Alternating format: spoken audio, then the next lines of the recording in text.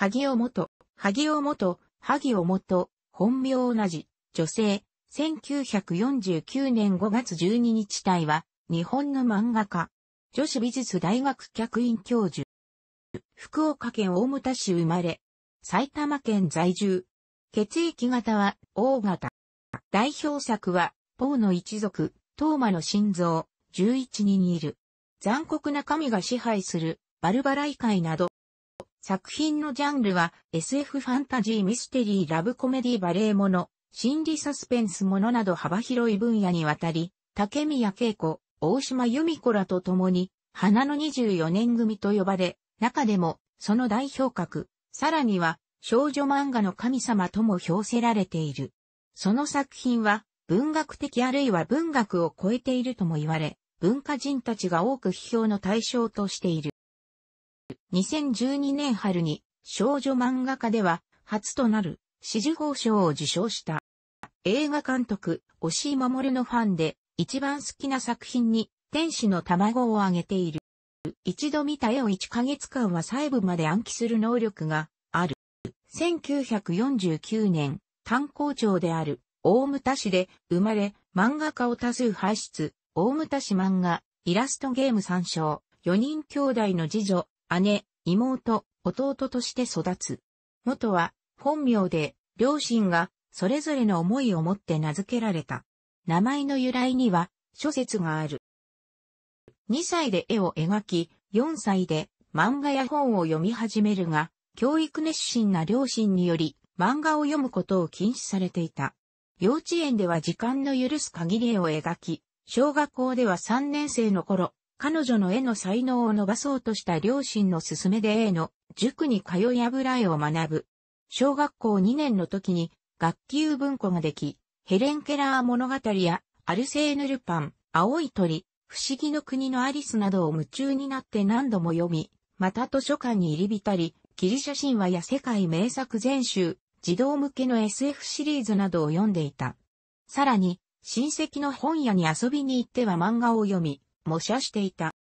中学入学後、漫画を描く友人、原田千代子、後の漫画家、原田蘭と知り合い、漫画を描くための知識や漫画家になるためには作品を投稿する必要があることを知り、二人で貸本雑誌などに投稿した。中学2年生の時に大阪府吹田市に引っ越すが、その後も原田との文通は続く。高校2年生の時に手塚治虫の新選組に強く感銘を受け、本気で漫画家を志し、高校3年生の時に大牟田に戻ると、原田の紹介で漫画導人誌、キーロックスに同人漫画家として参加する。高校卒業後も地元のデザイン専門学校で学びながら10作ほど投稿し、そのうちの1作、ミニレディが恋をしたら、ペンネームは、萩尾望む東で、別冊マーガレット、集英社1968年5月号、少女漫画スクールにて金賞を受賞するが、入賞作は掲載されなかった。翌1969年、休暇で上京した際に手塚プロのアシスタントをしていた原田を訪問し、そこで初めて手塚治虫と出会う。また、上京の際には原田と岡田文子を訪ね、同郷の漫画家、平田真紀子のつてで講談社に持ち込みをした。そこで何か短い作品をと言われ、忘れられないうちにと2週間で二十数枚の作品を仕上げ提出。その作品、ルルとミミが仲良し夏休み増刊号に掲載されてデビューした。同年10月頃上京。竹宮恵子と共同アパートで生活し、後に24年組と呼ばれることとなる漫画家たちと切磋琢磨の日々を送るが、この時に、増山のりえから様々な文化的な知識を吸する。その後、描きたい SF をテーマにした作品が採用されない時期が2年ほど続くが、竹宮に伴われ小学館 NM を持ち込んだ際に、編集者の山本淳也に可能性を認められ、自由にわがままに思い切り描かせたいという方針のもと、本領を発揮するようになる。代表作、ポーの一族は、永遠に子供である子供を描きたいとの発想から、石森章太郎の、霧とバラと星との吸血鬼の設定の一部をヒントに構想を思いついたものだが、長編連載をやるには、早すぎると編集から待ったがかかったため、1972年、透き通った銀の紙などの短編を小出しに描き、そんなにやりたいのならと、ようやく編集から了解が出て、同年8月から翌1973年6月にかけて、当初の構想であった三部作、ポーの一族、メリーベルト銀のバラ、小鳥ノスを連載した。この時期のもう一つの代表作、トーマの心臓は、悲しみの天使というフランス映画を見に行ったところ、それがバッドエンドであったために、萩尾は主人公に同情し、救いのある話をと着手したもので、1974年4月から連載を開始したが、初回の読者アンケートが最下位だったため、当時の編集長である飯田から打ち切りを宣告された。しかし、直後に単行本化された、ポーの一族の初版3万部が3日で完売。トーマの心臓の評判も徐々に上がり、もう少しで終わりになるから、と萩尾が交わしているうちに連載は33回まで、くこととなった。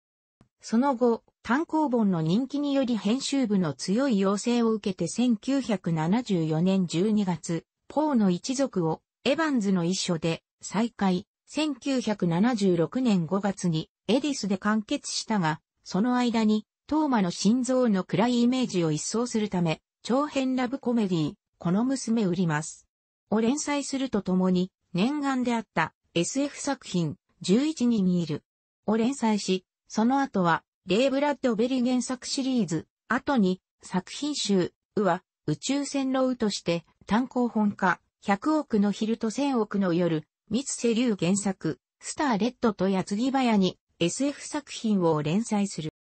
1976年、ポーの一族、11に見える。で、第21回小学館漫画賞を受賞する。一方、1977年に定年になった父親を代表として会社、元プロダクションを作ったが、両親との不和が講じて大喧嘩し、2年後に会社を潰す。親との関係を見つめるため心理学を勉強し始め、内なる親から解き放たれるために、1980年に親殺しをテーマにしたメッシュの連載を開始。この時期の SF 作品に銀の三角、モザイク螺旋、マージナルなどの長編作品のほか、AA、XY などの短編作品がある。1982年の年末にモスクワ郊外で乗っていた観光バスとトラックが正面衝突した事故で重傷を負う。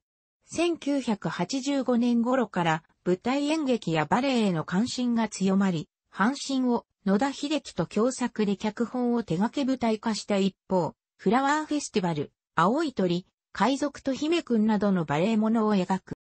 スターレッド、1980年、銀の三角、1983年、XY、1985年で、それぞれ星雲賞コミック部門を受賞する。80年代から引き続き、ローマへの道や感謝知らずの男などのバレエものを描くとともに、1992年には厳格だった母親との対立をもとにしたイグアナの娘を発表し、さらに同年、サイコサスペンス長編作品、残酷な神が支配するの連載を開始する。この時期の SF 作品には、海のアリア、危ない丘の家がある。1997年、残酷な神が支配するで、第1回、手塚治虫文化小漫画優秀賞を受賞する。残酷な神が支配する。終了後、1年間の救済後、2002年、SF 作品、バルバライ会の連載を開始する。バルバライ会終了後、ここではない、どこか、シリーズや、アブナザカホテル、レオくん、田中アコ原作による、菱川さんと、猫、ゲバラシリーズなどを連載する。2006年、バルバライ会で第27回日本 SF 大賞を受賞する。2011年、引退を考え短編数編でフェードアウトする予定だったが、東日本大震災で終末を表すものは止められ、描けなくなり、原発事故から菜の花と放射性物質を擬人化した原発三部作、福島ドライブを発表するとともに、現代社会を糸入れ騎士漫画、王妃、マルゴを開始、引退を延期する。また、小松左京のお召しを原案とするアウェイアウェイを連載する。2016年には、萩尾元名義による天使かもしれないで漫画原作を初めて担当する作画は畑野博が担当。また、連載終了から40年ぶりに、ポーの一族の新作、春の夢を発表す。2011年から女子美術大学芸術学部アートデザイン表現、学科メディア表現領域客員教授に就任。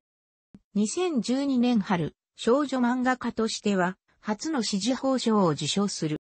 2013年、単行本、菜の花及び、作者の全作品で、第12回センスオブジェンダー賞生涯功労賞を受賞する。